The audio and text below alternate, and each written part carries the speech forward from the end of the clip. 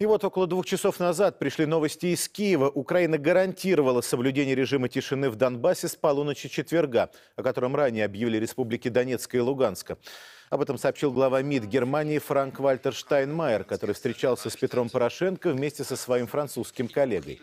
Жан-Марк Эйро, в свою очередь, добавил, что по итогам переговоров э, после выполнения шагов по безопасности Украина должна назначить выборы в Донбассе. Они, а также особый статус, напомню, предусмотрены минскими договоренностями.